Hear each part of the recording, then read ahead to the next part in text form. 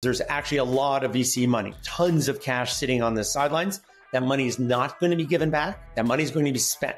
Here's the thing that I don't think about, which is our ownership. Sometimes we're paying a big price, and we're paying a big price because it's an incredible team and an incredible opportunity. If someone makes you an offer you can't refuse, don't refuse it. Take it. Ready to go?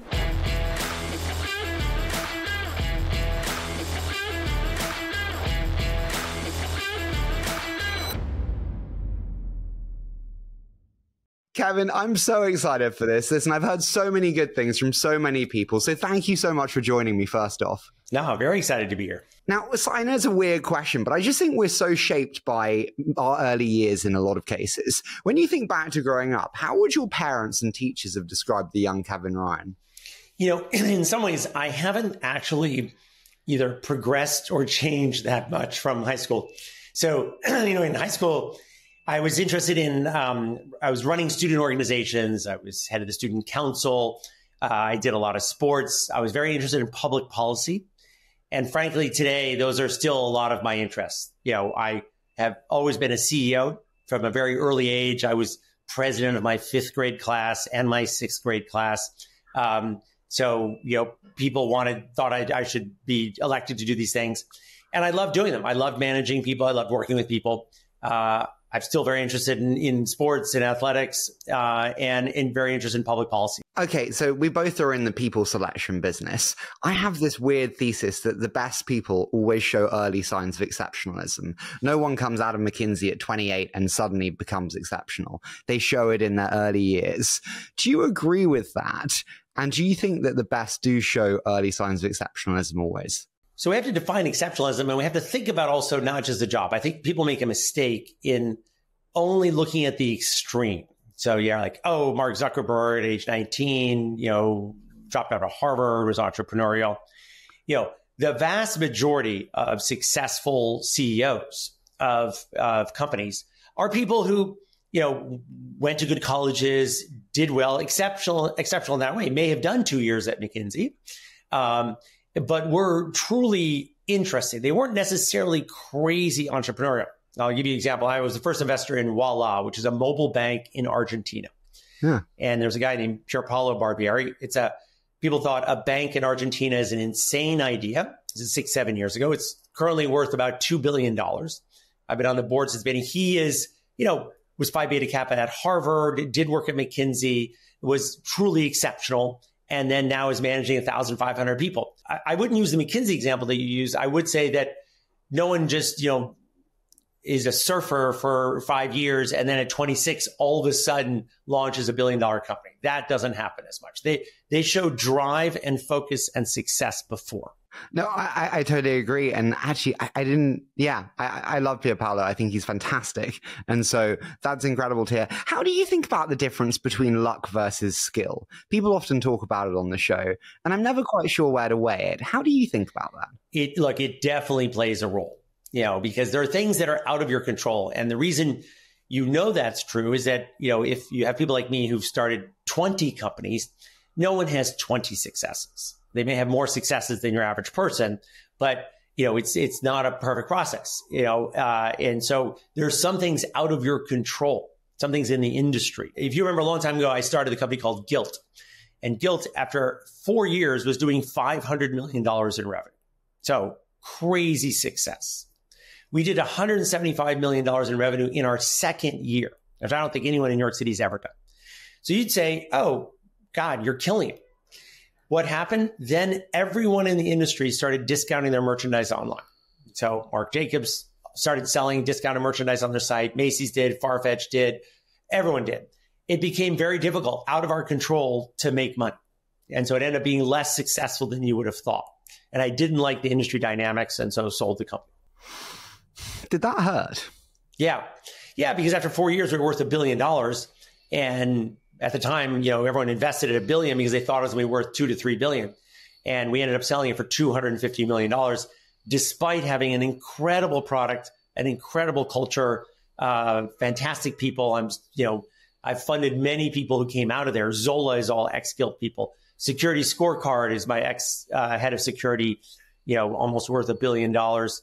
Uh, so many good things came out of it, but it it definitely hurt. I put a lot of work into that and got less than I thought. Kevin, bit of a weird one, but when I go across your career, there's so many incredible companies. I know it's hard. What do you consider your biggest success? Unfortunately, there's a couple different dimensions. The, the monetary exam, uh, answer is Mongo by far. You know, Mongo's worth $25 billion. There's only two companies started in the last 30 years in New York that are worth $25 billion. So that is a, you know, big, big success and still growing. And I think we'll be a $50 billion company someday. You know, DoubleClick was the most impactful for me. I was 32. I had never managed more than 40 people. You know, four years after the beginning, I was managing 2,000 people in 25 countries. We went public 20, 24 months after we started. We did 10 acquisitions during that time. I learned a tremendous amount and had an incredible experience.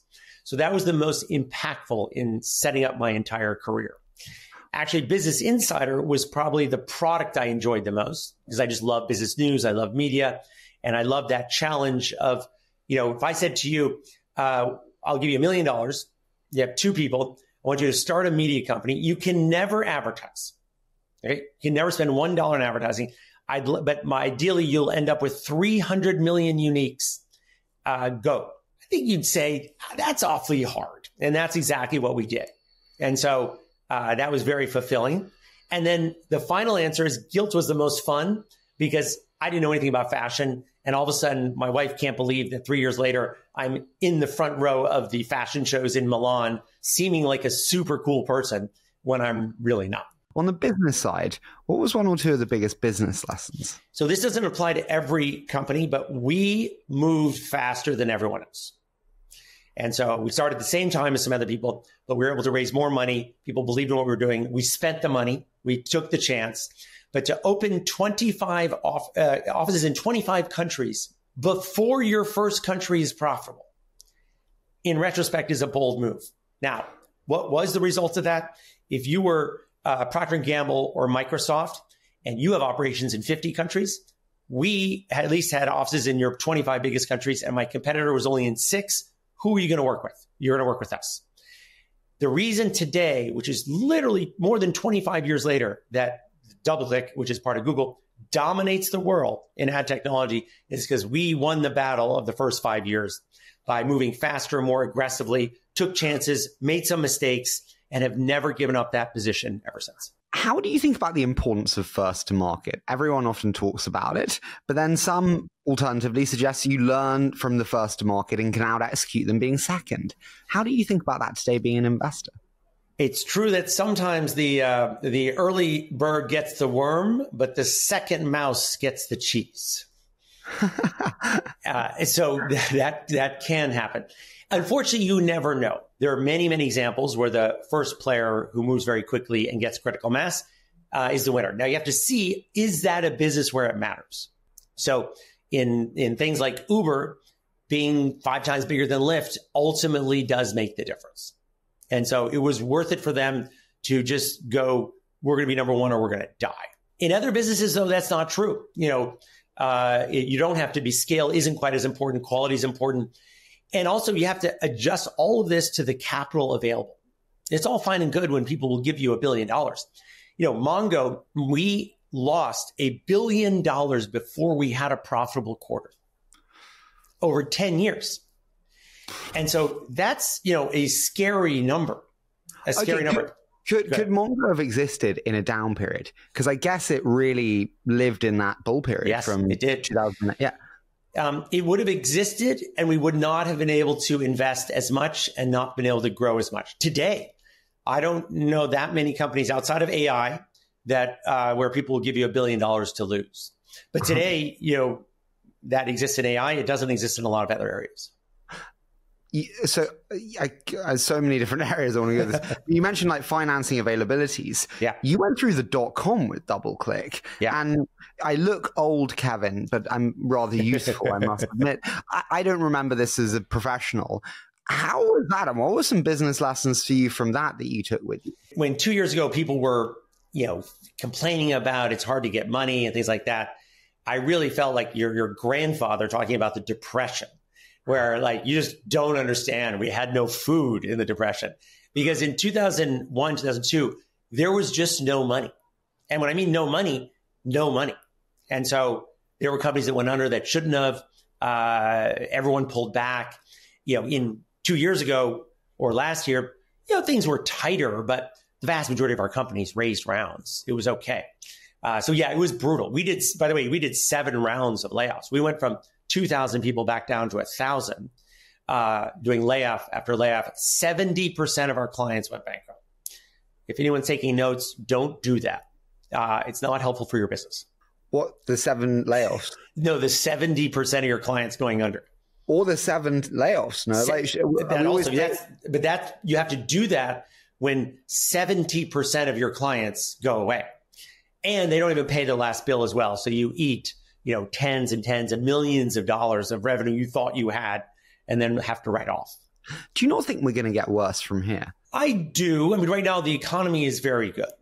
I think that there's, if we look over 30 years, uh, on average, if the stock market's at an all time high and unemployment is at an all time low, if you said, are the odds that things are going to get better or worse? By definition, there's a reversion to the mean at some point. I don't plan for that. Things right now look uh, pretty good, pretty stable. There's another characteristic in our business is there's actually a lot of VC money. You know, there's tons of cash sitting on the sidelines. That money is not going to be given back. That money is going to be spent. We're only debating whether people are going to spend it over two and a half years, which they were doing four years ago, or over five years, which they're probably going to do now. But there's a lot of money out there that is going to keep this industry going. And the second thing that independent of any macro factors you're talking about or thinking about, you know, most things happen at a micro level. So you know, we started a company in assisted fertility. Assisted fertility is going to grow. I can guarantee you that 10 years from now, more women will have egg freezing, more women will be doing IVF than they do it today. That's just going to grow regardless of the economy. And so there's a lot of things like that that are going to happen and are going to be fine. I, listen, I'm so glad you said that. One thing that I'm always nervous to take as an investor is market timing risk. I don't think that I'm smart enough to predict markets uh, in terms of the timing and consumer adoption. How do you think about market timing risk? I'll tell you why I don't. First of all, we're doing very early stage work. So, you know, the bet we are making is that, uh, and, and, when we have a, an offsite, we we think about we put up the, the number 2034, 10 years from now. All of the conversations we're having are about trends that we believe are 10 year trends. And the reason is I know that unfortunately, you have to assume it takes 10 years to build a really successful company. Sure. And I can almost guarantee you that there's going to be recession during that time. Mm-hmm. And I have no idea when it's going to be. You know, could be next year, could be five years from now. It's just part of life. It's like saying, you know, I don't know, if you go sailing, I'm not a sailor, you go sailing for a month, yeah, you're to have bad weather. Yeah, you're to have bad weather at some point. You know, if you, if you can't deal with that, don't sail. So that's, I don't worry about that. What I worry about is, you know, we're big investors, for example, in the psychedelic industry. Is the psychedelic industry going to be 20 times larger 10 years from now than today? Absolutely. We have to create the right products, navigate our way, and get there. Uh, but if I get that assumption right, which sometimes you do, sometimes you don't, you have a much, much better chance of having success. Are you a market led investor or a people led investor? It's just interesting when you said there about that. I do the complete opposite because I'm like, I have no freaking idea which markets are going to be big in 2034. It's the job of the founder to show me the future, and my job is to select great people. Are you a market led investor or a people led investor? They're both really important. And if I said to you, if someone comes to you tomorrow and says they're going to start a new department store selling clothes online, I don't care how good that person is, it's not going to work. Not a single one of those has worked in 10 years. Um, so the market is is question, a factor. Yeah. Question for you: Do you not often get it though, where amazing people choose not great ideas? Yes, and the thesis is that they will pivot to something adjacent that works. No, because yeah, there are examples where that happens, and you assume a good founder will do that. But if you are going into an industry that ends up just not happening, you know, you can't pivot and you won't be able to get the money to do that. If you're going to pivot into something that's slightly different, that's okay. But you're not going to start a lab grown meat company and then decide to go to solar energy. That's just not going to happen. So you just got the industry right or wrong, and that will happen. E-commerce, there's been probably net, you know, no value created in five years. Same with media. Uh, you know, with the exception of actually podcasts, hardly anything has worked in the last five years in media. So that's why it's not as simple to say just back good people. Um, you're looking for a combination of a very good person and a thesis that you believe in, ideally a sector growing or an opportunity to create a better product. How do you prevent past mistakes or challenging markets, how do you prevent them from impacting future decision making? So, like for instance, I hate ed tech. It's a freaking hard market. Respectfully, I hate media. It's so freaking hard to make money yeah. in media. But I could be wrong, Kevin. Yeah. There could be something great. How do you prevent past impacting future? I'm not sure that we do or I do or anyone does. And I see it all the time when we have a company going out and we approach 10 VCs and Three of them will say, I invested in this sector eight years ago and I lost all my money. I'm out. Hmm. They haven't even read the deck yet. And, but I'm not saying I don't do that as well. I mean, when I've had a bad experience, I think it sometimes does influence my thinking. I try intellectually to not let it happen, and I think I let it happen. Sometimes. Do you know which companies will get funded fast and well when they go out? I'm just intrigued. Is it the ones you think, or is it actually a wide dispersion? You have a sense of two things ahead of time. One, you know whatever fundamental numbers how they're doing, which that helps. I mean, you know, I don't have any companies going out that have quadrupled their revenues in the last year that don't get funded. The second thing you know is you can have a sense of how your CEO does in fundraising. Because there are, you know, I've had examples of CEOs who are incredible CEOs, great managers, visionary, but just don't present that well, aren't as confident, and you know are worse at fundraising than they are at running the business. And they'll they get penalized often in the market for that especially in the beginning when it's less about numbers and more about the vision.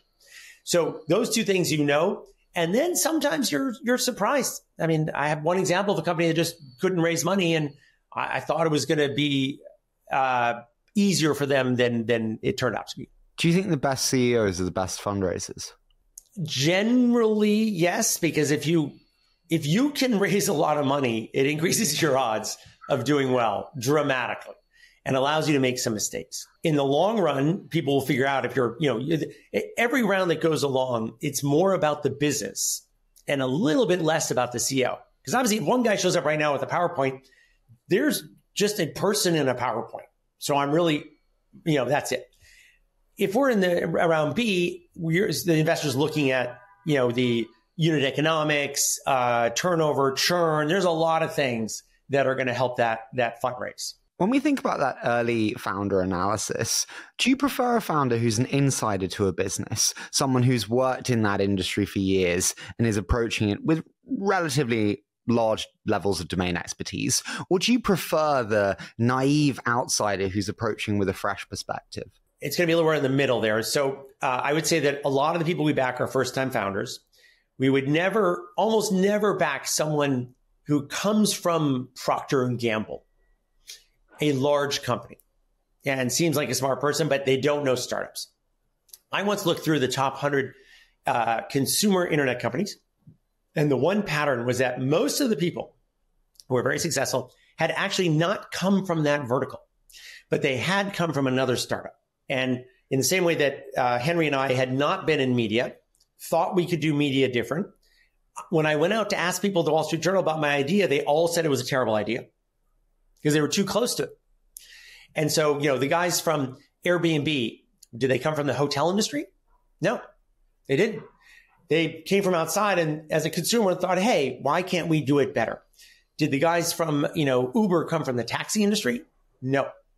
So many, many, many examples, the vast majority of examples in the consumer space I will tell you that in the B2B space, there aren't that many people that come into enterprise software and weren't in enterprise software. So it's a little bit harder there. And actually, when we started Mongo, the reason we had trouble uh, raising money, even though we had already had a very successful company, was because people said, You've never done a database before.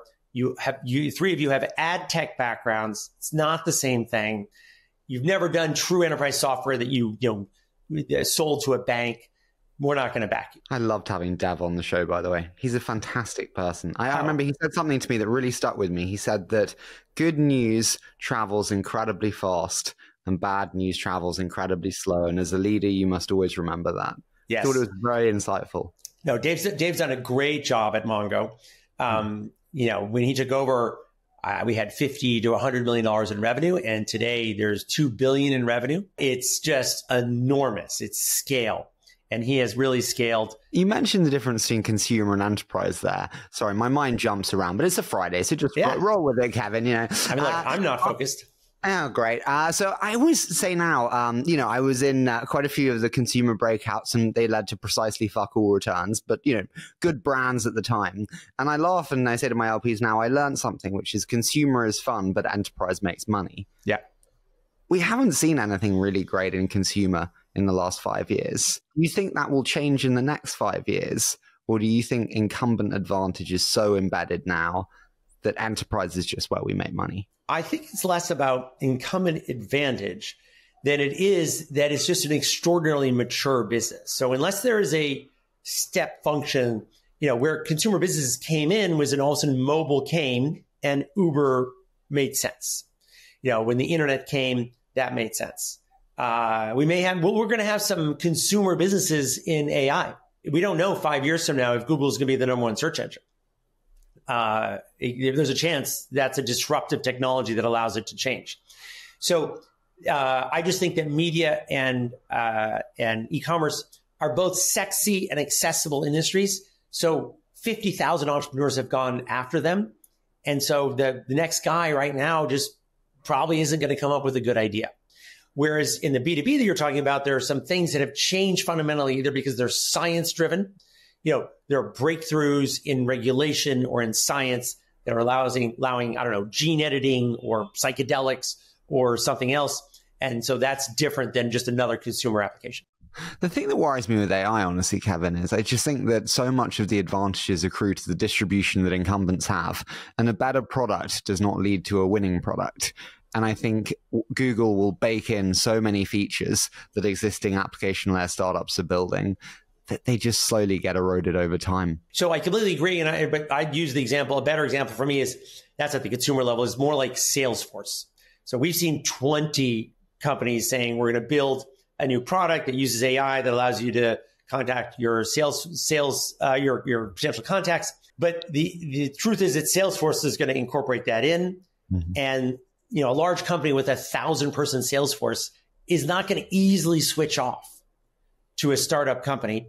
And so I have confidence that Salesforce will incorporate AI into their product. Maybe it's six months late, maybe it's a year late, but they're going to do it. And the switching costs are so high. And that's true of the pharma industry. That's true of the banking industry. That's true of everything. So I, I agree with that. Yeah.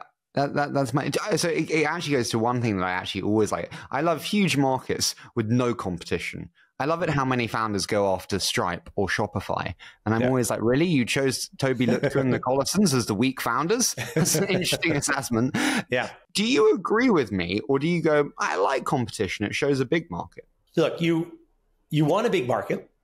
You'd like to have as little competition as possible. Um, it's very hard to find that. You know, Pierpaolo starting a mobile bank in Argentina.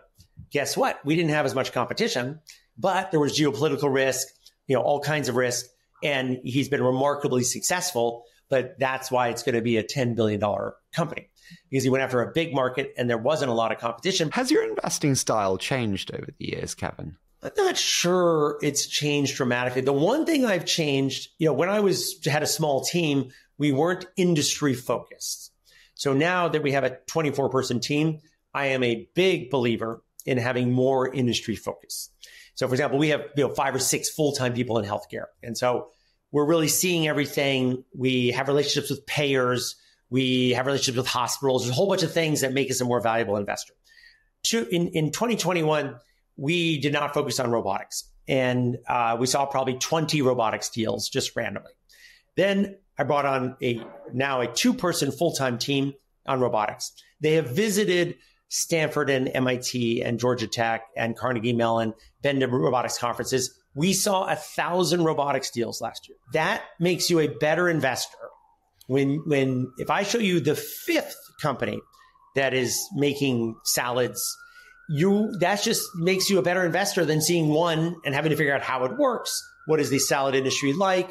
It, it puts you up to speed. So seeing everything is helpful. Do you think investors add value? You mentioned there about being a more valuable investor. I just had Trae on from Founders Fund who was like, investors don't add value. How do you think about that? So, um, having been on both sides of that, you know, easily 90% of the value of a company comes from the CEO and uh, the team. Now, having said that, making sure you have the right CEO, which is the board slash investors' responsibility, is the single biggest decision. I mean, you know, if you said, why is Mongo a very successful company? You could say, well, because Dev's been running it for the last seven years. I let the previous CEO go and hire Dev because we're getting to a new phase and the, and the, and the board as well. And I think that single decision, you know, was extremely important and well executed, even though Dev has done obviously 99% of the work. Um, the other thing I would say is in the, the early stages of uh, a company, the investors play a much bigger role. So, you know, we've had companies that uh, you know, we start so many companies were early stage. Often you have a, a CEO that has literally never raised money before. So when we get them in front of 50, you know, venture capital firms, that is adding value. When they are hiring a CFO uh, for the first time because they were head of business development, they never actually managed a CFO before. Having a perspective on that is important. The other thing I would say, I had incredible investors at DoubleClick, uh, Bain and Greylock, for example. I had just remarkable partners. When you are CEO, you are too close to the business. That is your job. And so some distance is often helpful because they would come to a board meeting and you know they've worked with 20 CFOs or seen 20 sales plans. And so they just had a slightly better perspective. And once in a while, I'll be like, you know, that's a good point. I had not factored that in. I was too close to it. Um, but my point remains 90% of it is having the right CEO and the right team. So I love serial entrepreneurs for the reason that you don't need to teach them how to fundraise. You don't need to teach them how to hire a head of sales. They've done most of it before and they've fucked up before as well, which means they should have learned the lessons last time. Now, they'll make new mistakes, of course, but they won't make some pretty obvious ones. How do you feel about the? You said earlier we like to back first time founders. Am I wrong in terms of my thesis on serial entrepreneurs and that heavy preference there? And how do you think about that? Yeah. So in again, if we look back at consumer businesses, you know, out of the top 25 companies, how many were serial entrepreneurs? Almost zero. Two? Almost zero. Yeah. You know, so you, the energy level of someone working 80 hours a week, feeling slightly nervous that they don't know how to do the job, you know, listening to other people because they've never done it before. There's a lot of value in that. By the way, you'll see in enterprise software more of a pattern of repeat entrepreneurs, also on average slightly older. You know, you don't 24 year olds have trouble starting a database company and building up an enterprise sales force, meeting with the CEO of, uh, or the CTO of Goldman Sachs to close that deal. It really doesn't happen that often. Yeah. So industries are different. It depends whether the industry knowledge, experience, and credibility is extremely important to success. And in consumer, it isn't because I just go look at your app and I like it. I don't really care whether you're 10 years old or 50 years old. What do you think is the biggest determination of whether a company gets product market fit from zero to one? Everyone always says speed is the single biggest determinator or determining factor. Do you agree with that? No, no, I don't think that speed is the most important thing. You do need to get out your product, you know, pretty quickly, but it has to be pretty good. I mean, if it's terrible, we'll never hear from you again. It needs to be good enough that some people are using it, it's starting to grow, you're getting feedback, and you're going to make it much better. Um, by the way, you know, it, it depends on the product. You know, if you use a database and it's it's doesn't function and you lose all your revenues then we're in a lot of trouble. That's a much more mission critical product. And so it just can't be terrible. So, for example, we had no revenues after three years at Mongo, which is not great because we had to go slower. It had to work. It had to scale. It had to be secure. Whereas for consumer apps, it can be, you can, you can make mistakes. Did you question whether it would work? Three years in, no revenues. I, I can't remember how many years you said earlier, but nine or 10 years in, no profits. So nine years in, yeah, I knew it was working. There was no problem. Three years in, we were nervous because uh, we just we couldn't charge for it yet. It was getting better and better. We knew the industry is very big. We knew there was an opportunity. We knew Oracle was too expensive, and We knew that a non-relational database was a good idea, but you know, you can also just run out of money at some point. We didn't have incredibly successful fundraisers during that time. Uh, but what you could see is that if I showed you one chart, which is how many people are downloading the Mongo database, that was just a straight line going up to the right all over the world. And as long as that kept happening, we thought we were on to something. Do you agree that companies die more often of indigestion than starvation? I hear it often, Kevin, and I think it's bullshit. I'm like, do you know how many companies die because they run out of cash? A lot. like, well, by definition, companies only die because they run out of cash. The question is, why do they run out of cash? They run out of cash because. Sorry, we have an alarm going off here. I don't know if you heard that, but don't worry, it's the companies running out of cash. exactly. like um, pulling the pull cord. yeah. So, um, why do they run out of cash? Because they don't have product market fit. Uh, because investors are looking at the numbers, looking at the team, and saying, I'm not going to put money in here. It's a tough one. It happens. I do want to discuss the new fund, speaking of investors and putting money in. So, can you share the news with us that I think came out yesterday? So, let's start there. Sure. Yeah. No. We've uh, first time. You know, we've been investing uh, really my money in a in a different structure for the last decade, and you know, we have uh, 120 companies in the portfolio. Uh, have made many investments, started over 20 companies. But we just announced that we, it's the first outside fund with outside investors. So we've raised a $250 million fund to continue doing what we're doing uh, and continue to both start companies and invest in companies largely on the East Coast in New York, but not only heavily healthcare, heavily tech, robotics, and social impact. So super excited, and uh, it's uh, it's it's a great time. Okay, how do you do resource allocation between incubations versus investments? So what I like is being industry focused. So the team in healthcare is doing both, and they they I'll give you a good example. We look decided to look at a vertical because we're doing deep research all the time. We're much more research driven than other firms. A person on our team started being interested in the shipping industry. So shipping industry is an enormous industry that needs a lot more technology. So she spends two months, interviews 50 people in that industry. What does she come away with? One, a new idea because realizes that there's a, a lack of a procurement marketplace. And so we started a company in that space uh, called Portshop. And because she was at multiple shipping conferences, which most of us have not been at, she ran across a company that people were saying great things about called BoxHub, which is a marketplace for containers based in Toronto, which we never would have known about. And we invested in that as well. So it stems from if you know the industry and know the players and know the opportunities and know the holes, you both can start companies and invest in companies. My worry with incubations, and uh, tell me I'm wrong, the best founders won't want to be like a hired gun CEO to an idea that they're brought in on. How do you respond to my concern there? Well, let's not forget the data, which is that, you know, Business Insider was one of the most successful media companies ever started. MongoDB, one of the most successful databases companies ever started. Exactly another formula you just said can't work, where we started it and brought in a CEO the question is, are you bringing in a great quality CEO? And the answer is yes. Uh, and then are you uh, incenting them correctly and making sure that it works? So we've never had a CEO resign. My psychedelic company, I think, is one of the most valuable psychedelic companies started in the last four years in the United States. Transcend.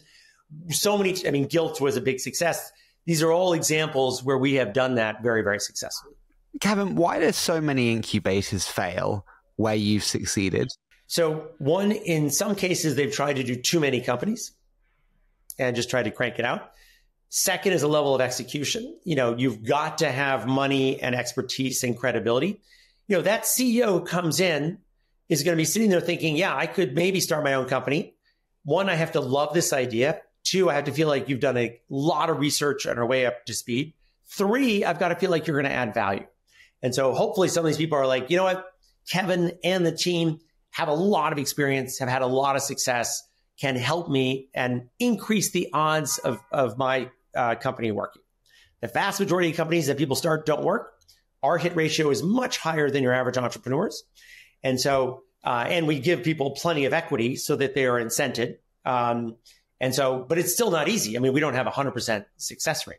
So, to, on the too many, how many do you like to do them? What's the right amount for you? So it's bottoms up, but we historically last couple of years we're doing somewhere between six and eight companies a year. But we have multiple industry groups and multiple people. So at any one time, people here, one person can be working on one idea or one research project. Okay, how do you do resource allocation between new projects? And you have to be efficient with financing, cut it, inject more when there's milestones hit. How do you think about efficient resource allocation between those projects? Look, that's just a judgment call because you're, you know, looking at very different ideas. So, you know, sometimes we do we just did 2 or 3 months on a fintech idea and just didn't get conviction. And so, you know, we're not going to do it. But that's a judgment call at the end of the day. I mean, look, how do it's like asking as a uh, entrepreneur, how do you have conviction to do this? You just get to the point where you're like, I know this is going to work, and I want to devote the next five years of my life to doing this. And sometimes you get it right, and sometimes you don't. Do you think you pull the ripcord soon enough on the ones you do quit? When we start a company, we don't bail out on the company, but we put a million, million and a half dollars in. We hire a CEO if we've made the decision to go forward now, then the market decides because nine months later, they're going to go out to raise money. And I would say four out of five times they go out and successfully raise a round and someone has an outside lead investor. And once in a while, the market's like, no, we hate your company or we hate your CEO and we're not going to invest. So that's what determines it. Has that ever happened and you've gone, I disagree with the market. I'm going to keep putting money in? Yeah, once um, I can think of one time where what we'll do sometimes is do a bridge round, and we'll say, you know, we just need six more months because we'll have uh, launch, we'll have customers, things like that, and so we have more confidence in the market. And then sometimes there we were right, and then sometimes there we were wrong. Kevin, can I be blunt? And please do forgive me if it's too personal. How much have you invested before this structure of your own? Yeah, this about, is a lot of. Yeah, two hundred fifty million. Have you told your wife? Don't worry, uh, Gilt Groupe got you a lot of bonus points, dude. You're fine. Yeah, um, yeah. No, look, I you know I've devoted my career to this sector, and so you know the, our returns have been been extraordinary. Uh, things have worked. Uh, things are good, and this is incredible. There's nothing more fun in life than going after a new area. Psychedelics being an example, super interesting, ahead of the curve starting companies, investing in companies, and then and seeing it work. And uh, and I've done that for a long time, and really, really enjoy it. How do the deal structures that you mentioned a million and a half there? Is there a standard deal structure, or does it depend on a per company basis? It depends, but you know, roughly the the team and CEO are probably going to get around 40 45% of the company and then we will have the rest because we came up with the idea, put in the money, did all the work, uh, and everyone gets paid from day one. So, order of magnitude is going to be that. Why do you invest as well? And what I mean by that is like your ownership when you invest like, on a good day is like 50. I'm, I'm guessing here, but like for any investors, 15 would be good. when you have 50 or 60 in the incubations, is it an efficient use of capital to be an investor? It is because one, as I said earlier, the the time you spend learning an industry gives you an advantage in investing. Secondly, you actually can't invest that much money in incubations. If you and I start a company tomorrow and we build a seven person team to build this, I mean, that's a million and a half dollars. So, and I don't have enough ideas. I wouldn't be able to come up with 30 ideas a year. So you've already done the work in a sector. You find out about incredible opportunities you're seeing deal flow. I mean, is a year long enough? I'm sorry, I didn't mean to interrupt you, but if you think about bringing a team together, maybe take three months to hire people, three months to ramp them. Gosh, that's six months of execution. That's not very much. Yeah. And then at that point, depending on the company, often we're able to raise money outside, but um, often we put in another million and buy ourselves another six months or nine months. You know, ideally, the product is out. Some companies are using it you can sense that it works. You've got a sense for pricing. Now we're just going to debate how big an opportunity is it. Tell me, how do you think about price? I'm intrigued. You've invested in like so many businesses yeah. now. Peter Fenton once said to me, price is a mental trap. how do you think about price and your own price sensitivity? Here's the thing that I don't think about, which is our ownership. Meaning, you know, if you were going to buy a piece of an apartment and you said, I really want to own 10% of this apartment, uh, does that mean, and you have a certain amount of money, that means you're just never going to buy a really good apartment because the price is higher. So if I see three startups that just started six months ago, one of them has an incredible team going after an incredible market, that company is worth more than the other ones. And if I put a million dollars in, I'm going to get less of that company. But that doesn't mean it's a worse investment. At the end of the day, you're just trying to figure out, is this going to work or not? And, you know, sometimes we're paying a big price uh, and we're paying a big price because it's an incredible team and an incredible opportunity. I get you. I also worry about dilution. I've had quite a few investments which ended up being amazing, but because of the capital that went in, you got like a three or a four X and you're like, no, but that's just another factor. You should factor in how much dilution you're going to take. What are the gross margins going to be?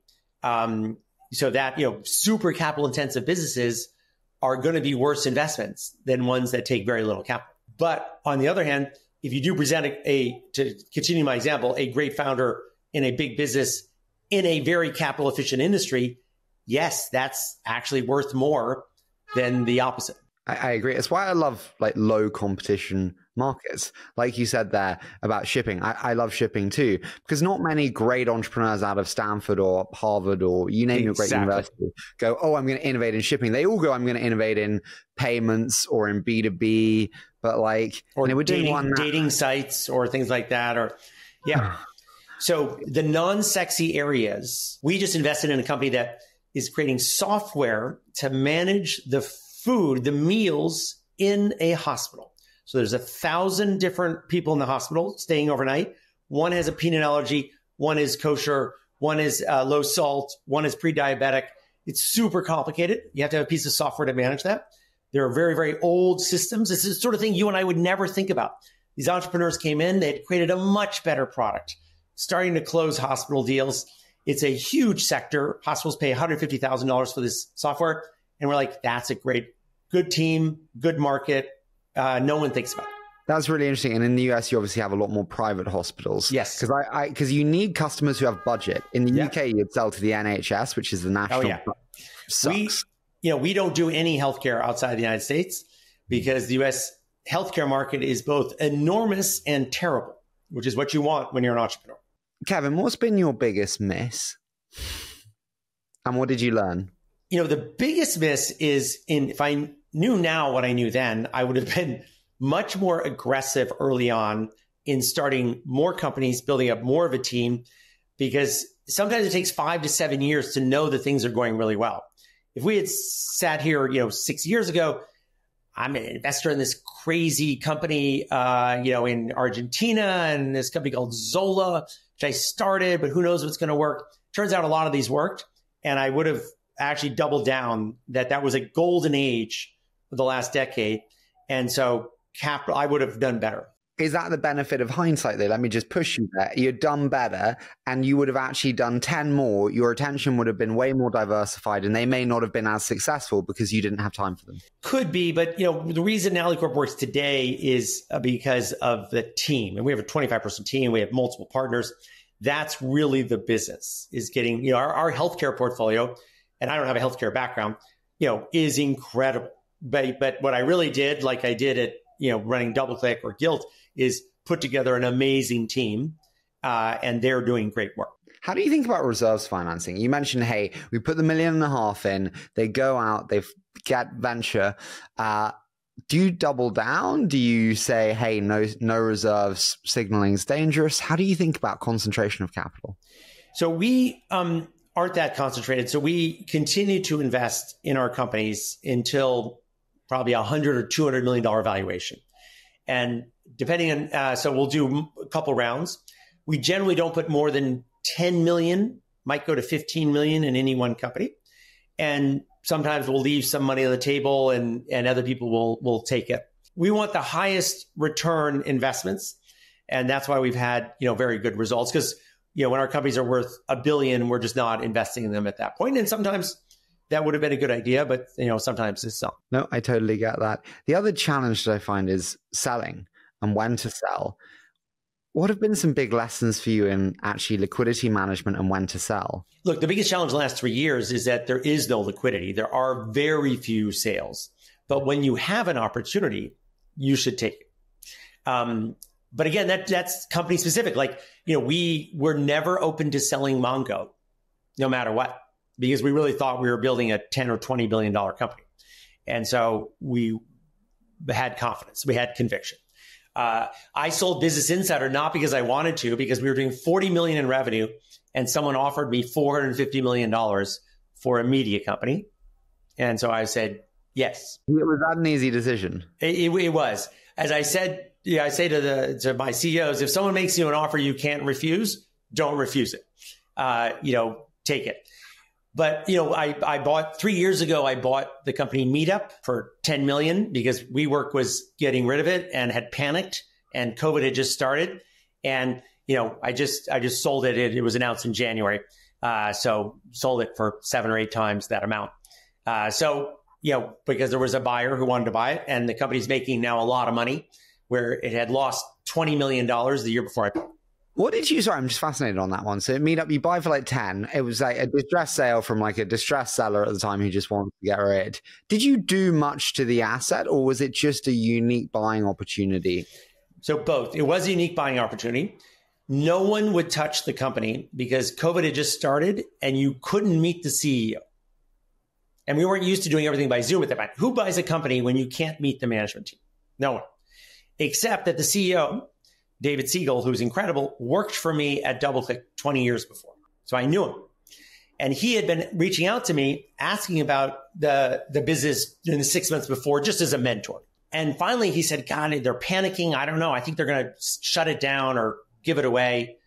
I said, wait a second. You know, why don't, why don't I buy it? So I got one or two other investors, bought it. Um, but we also went from 130 people the day I bought it to 90 people a week later, which is the right amount. Today it has probably 80, or when we sold it, it had 82 people.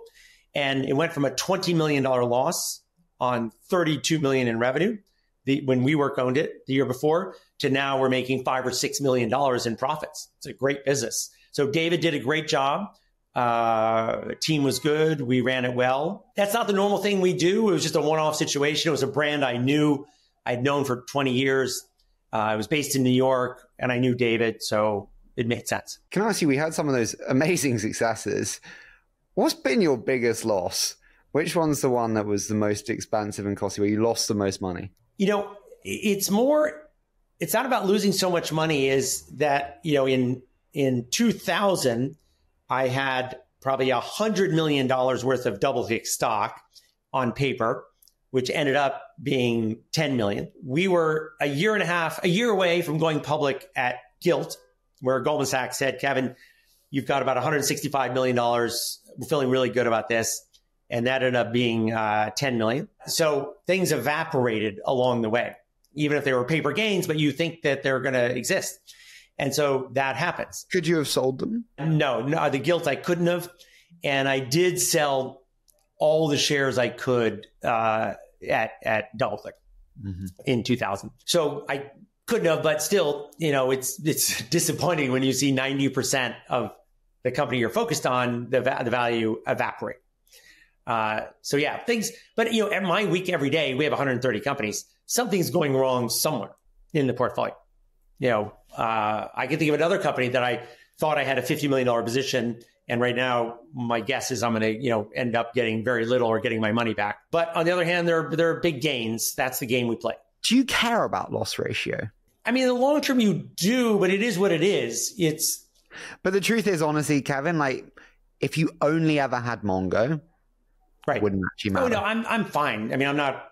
No, I'm no, I, I, know. I'm just saying, like, like if the outliers are so disproportionately large, yes. if they really are, yes, nothing else matters. Nothing else matters. And so, you know, you should be doing this business because you love doing it and you find it exciting, you love the mission, you like helping entrepreneurs, you like coming up with new ideas, creating new categories. That's what's fun about it. And then if you do it well, you're probably financially in, in our business going to do very well. But I don't think about that day to day. And we don't talk about that internally. We talk about we are building companies. If we build good companies, everything will work out fine financially. Doug Leone said recently to me that we have turned from a high boutique uh, high margin industry to a low margin commoditized industry. Do you agree with that transition statement? No. Um, what what is true is that when you are a late stage investor uh, writing fifty million dollar checks, that you are what we used to call private equity. So you're competing on price. There's already an established board. You're not adding that much value. It's just a different world. You know, you know, it's changed so much. When Apple went public, when they went public, they raised $9 million in the IPO. And uh, so it's very different today. In the early stage business that Union Square Ventures does, that we do of, you know, the first check in, um, that's not a commodity business. You have huge wins. You have some, you know, a bunch of losses. And by the way, I was on the board of Yale and on the board of the Yale Endowment. So we were the lead investor in many of the best firms. And as you know, in VC, there's a huge difference between returns that, let's say, a benchmark and a Greylock have and 90% of the rest of the uh, industry. 100%. My fear is that we, we've just seen like multi stage firms commoditize seed so efficiently that everyone has a seed strategy. I'm always asked by LPs, like, which funds on the West Coast should we do? Because you meet everyone, Harry. And I'm like, honestly, Sequoia Andreessen just come in and bid up every great round at seed. You might as well just be in Sequoia and Andreessen. No, we don't see in uh, the last, you know, 20 seed deals, uh, they're not in there very often. They don't, they're not, they don't have the coverage of the, you know, $2 million checks and also, a lot of entrepreneurs are very nervous about taking their money. On the West Coast, people just take their money regardless. But here, here's the risk. If a huge fund puts a million dollars into your initial round, and if they don't lead the next round, your company's dead. Whereas if a seed investor invests in your first round, it's understood that you're going to go out to someone else. But the negative signaling that occurs, and it's happened to me. I had a big, big, big firm uh, join in. Everyone was very excited. And then they lost faith, partly because the guy who invested in our company left the firm. And they're like, ah, we don't really, we're not really into it. We're going to pass. And then the company was dead. Dude, getting orphaned is the worst thing in a portfolio. I completely yeah. agree. But the the the chat. So I'm with you one thousand percent. But I always get multi-stage investors push back on me. Obviously, everyone has to defend their corner. But they say, "Oh, rubbish, Harry. Every round gets preempted today." And of course, Index does not call up Sequoia, who've done the pre-seed or the seed, and say, "Oh, are you going to do the A?" And so the signaling doesn't exist because of the prominence of preemption rounds there's I, I think you're being misled by the 10 supposed hottest deals who get preempted. That's not where the industry is. The vast majority of things are not being preempted. They're going out, they're raising good rounds. Uh, they take a couple years to be really, really big. That's the meat of the industry. I agree with you. Do you think venture is more competitive than it has ever been? Yes. Look, the, the reason one should be concerned about venture today is that um, there are there's probably four times as much money in funds today as there was in 2017. And the question is, are there four times as many opportunities? And I don't think there are. I think it's shifted. There's more opportunities in AI, but frankly, far fewer opportunities in e-commerce and media, as we discussed. I think there's actually even fewer opportunities in straight enterprise software. Mm. You know, does Bank of America need new software products this year that they didn't buy last year? You know, they've already purchased a lot. So I think there's just a bubble of money. There's more money than the industry needs. And as we discussed later, they'll spread it out. Uh, but, and, and, and, and unlike in the hedge fund industry, our money doesn't leave very easily. It takes a long time. It's sticky. Now you'll see Tiger, which had a fund that was whatever, 100 and now is, is now 50. Um, so you'll see new funds being smaller, but that takes time to work through the system. Are you worried about the illiquidity? Yeah, I'm looking at M&A markets thinking, I don't think IPO market is going to open in 24. I know we've just seen Rubrik go out, but I think it's one of few for sure. Um, are you worried about the illiquidity and how do you think about that? Yeah, I do worry about it. And there's nothing any of us can do about it. It makes no sense to me that, you know, you just can't take a company public even though your numbers are 70 better than 70% of all publicly traded companies that are already public, And yet the banks and everyone will be like, yeah, yeah, you can't go public. There's no opening for that. It's just closed. It would be as if the, you're selling your apartment in New York City and everyone's like, no, no, no, sorry. No apartments are going to be sold for the next two years. Well, so I have so many VCs on the show who say like, oh, it's complete rubbish. How you can always take a company public. You just might have to change your perspective on the price that you're willing to go out at. Is that wrong? That is wrong. Um, if your company's growing at 60% and profitable, yes, you can always go public. But at the margin, it is not easy to take companies public. There's not a lot of appetite. Look, you know many, many companies that'd be very happy to be public, and they're not. And they're not because they either can't do it or uh, somehow we just have not opened that up. For 15 years, I've wanted to solve this problem that we need a way for companies that are, you know, $100 million and growing at 20% to be able to go public and it doesn't exist. What are the main reasons why companies plateau? Because you see quite a lot of companies at kind of 40 to 60 million in revenue, and they're just, they're sitting on a billion, a billion and a half valuations, and you're looking at them going, it's probably 500. Um, why does that happen, and what do you think will happen to them? So, one, if they've plateaued their growth, they're not worth 500.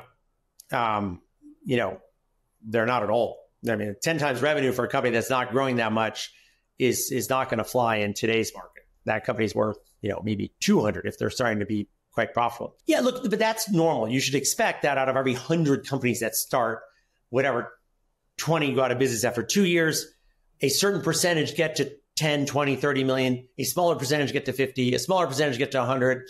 Uh, it just keeps funneling down. That's normal. Not every market is a trillion dollar market and not every product is going to get, you know, 30% of its market. Can I ask a final one before we do a quick fire? Yeah. It, you've mentioned you know some incredible wins and you know accumulated personal wealth.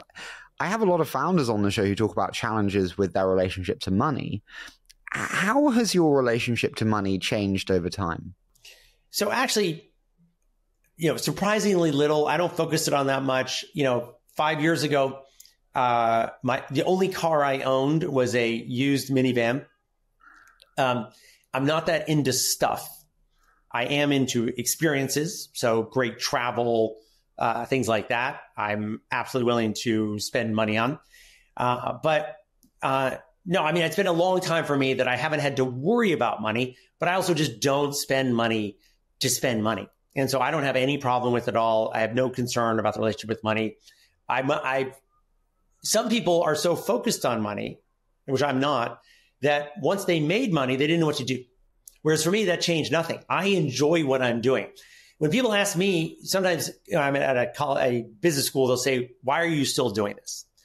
And my answer is, does anyone ask a really good NBA player who's 32 and who's made a ton of money, why are you still playing basketball? Why don't you retire? Like no one would ask that question, right? Because he would say, yes, they do pay me a lot of money, but I love what I'm doing and I can't think of anything else I'd rather do. So I'm going to do it as long as I can. And then eventually it'll end and I'll do something else. And that's exactly how I feel. Final, final one before the quick fire. Has New York lived up to the hype? And what, like Europe has, has not, if we're blunt, and I'm happy to admit that. And people say New York hasn't either. So Europe, so New York City has so outperformed the expectations, people have already forgotten it. So in 1996, the number one question I got running DoubleClick was, why aren't you in Boston? Boston is the tech center. You're giving me a perplexed look because you can't even remember that. I, I was born in '96, Kevin. no, yeah, I can't remember that. You know, DEC and Wang had been in Boston, and so it was known as the tech city. And when we went public, we couldn't even find a lawyer in New York City that had ever taken a company public. And so then, and I said this at the time, but if you had said wait a second, Kevin, what do you think that if 25 years from now, is there a chance that there'll be more tech jobs in New York than in San Francisco? And that uh, we are now some quarters competing for the amount of money?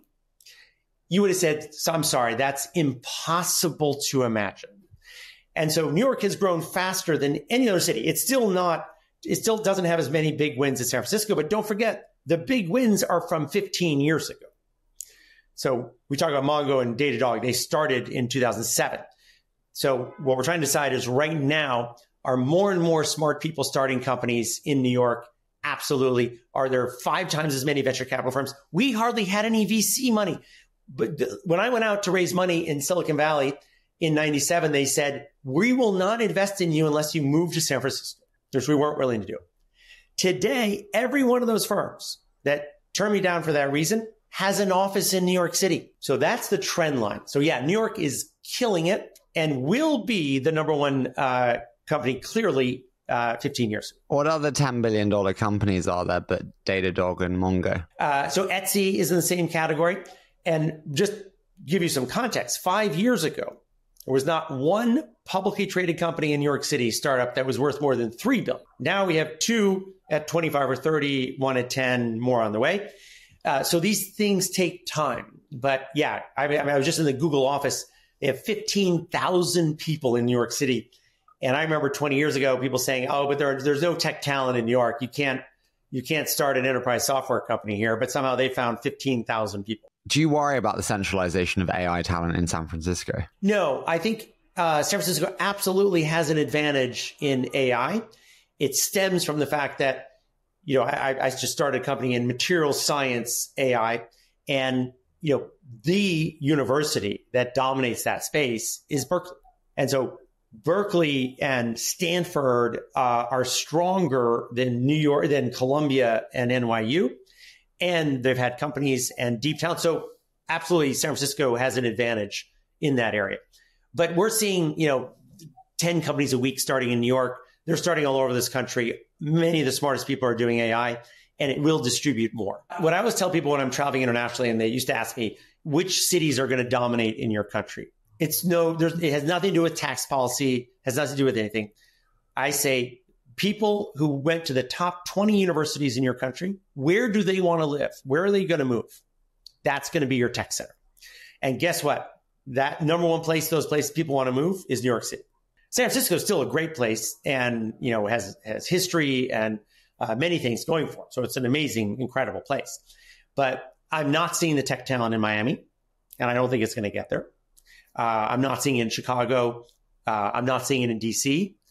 You know, don't forget, 15 years ago, the number one uh, internet company on the on the East Coast was AOL, based in DC. Is DC the tech hub that New York City is? Not at all. The super smart people from Harvard, Yale, Princeton, MIT, they want to live in New York City. I could talk to you all day, Kevin. Uh, I am mindful. I am mindful of time. Um, so I want to move into a quick fire round. So I say a short statement. You give me your immediate thoughts. Does that sound okay? Sure. Slightly weird and out there one.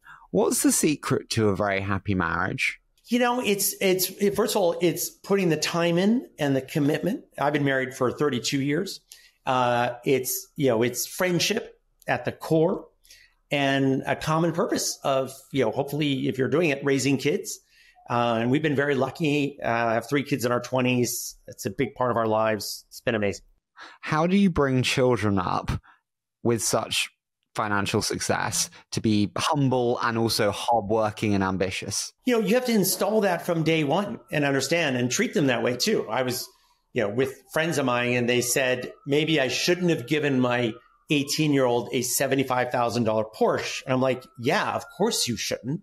You know, my kids don't have any of that. They graduate from college. They they have to make it on their own. They have they hopefully go to good schools. They, they you're installing that from day one. yeah, that Lamborghini was not, not a good thing. Yeah. Uh, uh, tell me, what have you changed your mind on most in the last 12 months? You know, I thought there was going to be much more of a recession. Um, other than that, you know, my, my opinions don't change dramatically because I really have to have this 10 year perspective, as I was saying earlier. So it doesn't change day to day, my industry focus, things like that. In the last you know, five years, I've become much more interested in healthcare. That's one big thing. Why do you think there will not be such a big recession that you thought would happen? The combination of the stimul, the fiscal stimulus, what the Biden administration has done, which doesn't get credit for, uh, combined with the Federal Reserve, has been remarkable management. You know, I read the French press and they talk about Bidenomics and how do we compete with this? Compete with it because it's so effective and our French companies are setting up factories in the United States and creating jobs. So I think it's been remarkable management between those two. No one, there's not a single economist that thought this was going to happen. Will Trump win? Um, look, it's either way, it's going to be 50 50. I think Biden's going to win, but, you know, it's it's actually going to end up being out of our hands. You know, if either one of them has a huge health issue, that could do it. If there's a um, if there is a uh, something happening from a geopolitical point of view that goes horribly wrong, that could change it. Um, I think that the s- substance and the success of the economy at the end of the day, uh, combined with the fact that the Democrats are winning every single election that is occurring across this country and outperforming since the Roe v. Wade uh, decisions means that at the margin, the Democrats are going to win. What's the biggest piece of startup advice that you think's most BS? Like the most commonly said that you're like, oh, I can't believe this is still a trope. I don't know if I have a good one there. I mean, I, my general question to most startup advice is it depends. You know, there's some companies that should spend more money. There's some companies that don't have product market fit. They should slow down. Obviously, you should hire good people, but you know, everyone's trying to do that.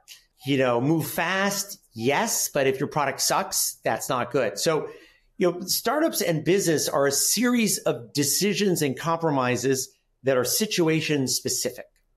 And so it's each, it, it, that's where judgment is important. And that's where I do think investors and good CEOs play the role. What's the luckiest thing that's ever happened to you?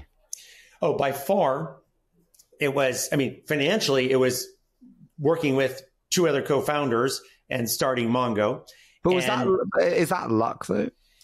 Well, look, I had, it was my CTO, I was the CEO of, of DoubleClick, and the CTO and I uh, wanted to start, we started companies together. We had started one or two that didn't work, and then we started Mongo. But the intellectual and execution of Mongo came more from them than from me. I mean, they built the product. I think I, I benefited even more than I deserved to. Um, you know, making the decision to get involved with the internet in 96, which, you know, I thought was going to do well, but, you know, I, I've had other thoughts over time that I thought were going to do well and they didn't. And that changed my life and my career. What do you know now that you wish you'd known the day you started investing? The judgment of seeing many things work and not work um, is help. It makes you more decisive on just feeling like, you know, I'm just not feeling it and trusting probably my gut feel a little bit more. If it just doesn't feel right, it doesn't feel right. Penultimate one. What are you most concerned about in the world today? Trump. For me, the single thing I'm worried about, I'm actually, you know, the, the, the, world from a safety and security point of view is, is actually okay. I'm obviously very biased on this, uh, but the single thing that I'm concerned about is Trump winning on multiple dimensions, giving away uh, Ukraine, um, you know, Supreme Court justices, poor, very, very, very poor execution of every aspect of government, uh, a level of corruption that I think would follow. So that's the single thing that worries me the most. I think the thing that worries me the most is we've seen the normalization of corruption across so much of government where we're almost not surprised anymore. So I don't agree. I don't think there's a single example in the cabinet of Biden after four years that you can point to where we could point and say, I think that's actual corruption. I, I suggest you look at the UK government. Uh, okay, that's. I, am sorry, I'm not commenting on the no, UK. No, I, you're, you're, absolutely right with the Biden administration. In the UK, we've had some very interesting decisions made on a lot that, of different. Oh, that's a whole nother conversation uh, that we should talk about. But you know, frankly, the uh, uh, uh, from a corruption point of view, with the benefit of hindsight, I you know the Obama administration was extremely clean. Hmm. And the Biden administration has been extremely clean. I'm not saying that they all did everything right in their policies. But from a corruption point of view, I don't uh, argue that either White House had a problem. Final one for you, Kevin. Uh, when you think about the 10 to 20 year time horizon for you and for the funds now, what does that look like? The business we're in does not scale infinitely. We're not trying to accumulate assets. So I don't want to be a $2 billion fund. Um, I want to continue doing what we're doing. We may uh, go bigger in some areas. Like we have a deep tech practice. I would like that to get bigger over the next couple of years. So next time we raise a fund, if we could, you know, I might I might increase the size a little bit just to increase verticals. But we're going to continue doing what we're doing. And look, I I lead my life because I want to be enjoying it, having fun, you know, doing athletic pursuits, going to Burning Man, uh, making great investments, helping entrepreneurs, spending a lot of time with my kids you know, out there having fun. Listen, Kevin, I've loved this. Thank you so much for, for doing it. Thank you so much for sharing so many of the lessons learned, and you've been fantastic. It was great to do this. It was a great conversation.